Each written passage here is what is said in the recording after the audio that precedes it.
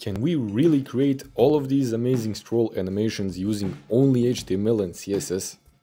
The answer is absolutely. And I will show you how to do it right now in this video. And hopefully by the end of the video, you will understand how to create different types of scroll-based animations without ever writing a single line of JavaScript.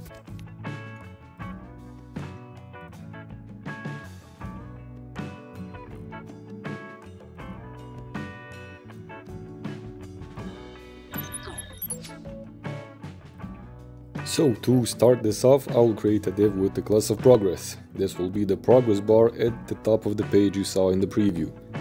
And later on we will make it follow the scroll bar position. And below that we will have the main section of the page, this is where we are going to add all of the images and also the list items that we are going to animate later. And aside from that we'll have some filler content, so this is going to be just some text that will create space for us to scroll through the page. I'm just going to use this Wikipedia article about Bengal tigers, but of course you can use whatever you want.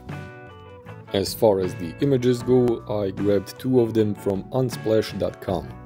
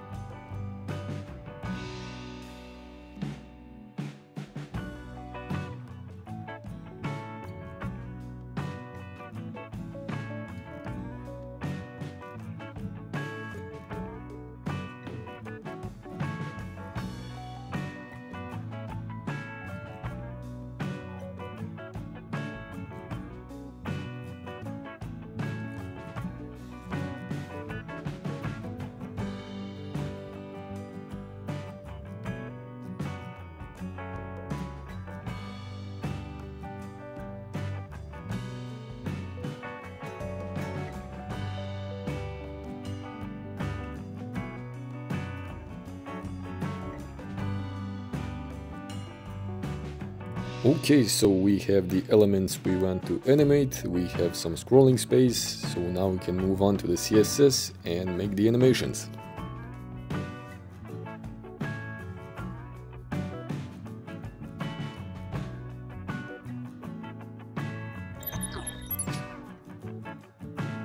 The first animation we will work on will be the animation for the progress bar. And the way we do that is by setting a scroll timeline to our HTML element. Now the scroll timeline will need a name, this is the name that we'll use later on to associate the animation with this scroll timeline and it will also need an axis. This will be either the y-axis or the x-axis. Remember that you can scroll the page not only upwards and downwards but also sideways and you can write this either in two lines or in one line.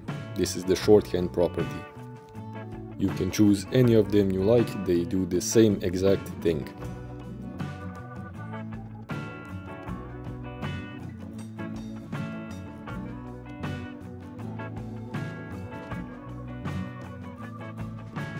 The progress bar will be in a fixed position at the top left corner of the page. We will give it a full width some height, a background color.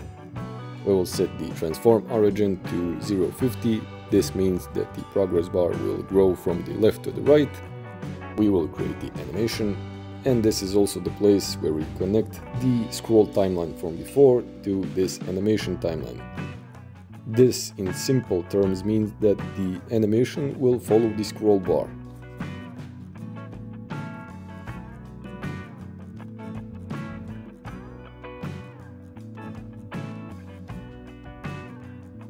All that is left now is to create the keyframe animation. So here we specify from which state or style we want this element to start and, and in which state or style to finish. and this will be all it takes to see the first animation in action. So you can now scroll the page and see how the progress bar moves along with the scroll bar.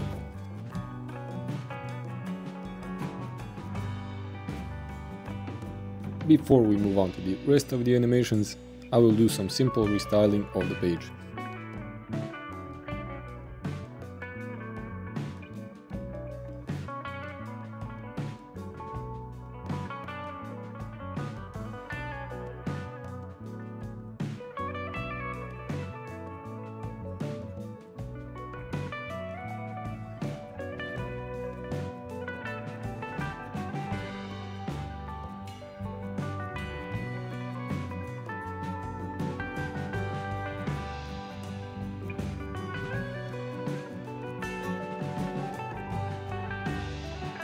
So now for the images we will create a view timeline. So the difference between a scroll timeline from before and this view timeline is that the scroll timeline will follow the position of the scroll bar of the element you added to and the view timeline will be based on the position of the element itself that you added to.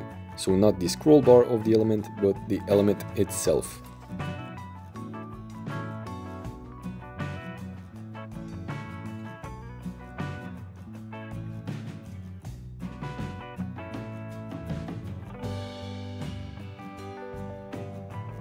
The rest of this will be pretty much the same steps except for the animation range property. We will have two values here. The entry value is the position from which the animation starts. So, depending on if you want the animation to start sooner or later in the timeline, you can edit this value to change that. And the simplest way for me to explain the cover value is to have you visualize it as the distance. So how far do you have to scroll to get from the beginning to the end of the animation? Or how much space the animation covers? And once more we add the keyframe in order to specify what exactly we want to animate. I will make it fade in and expand, but you can do whatever you like.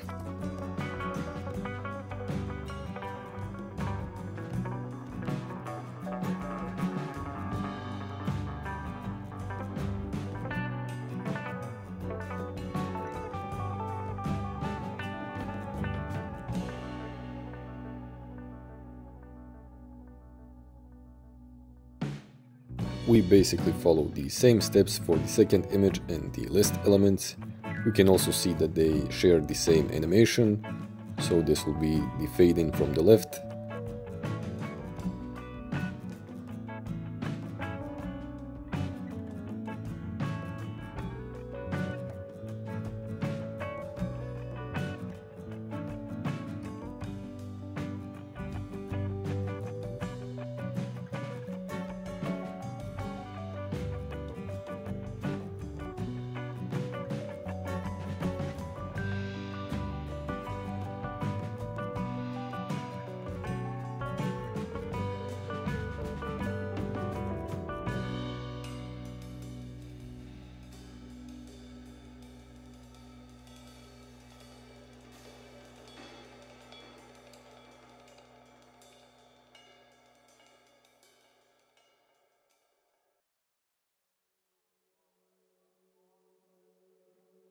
And that is it, now you can take a look at the end result.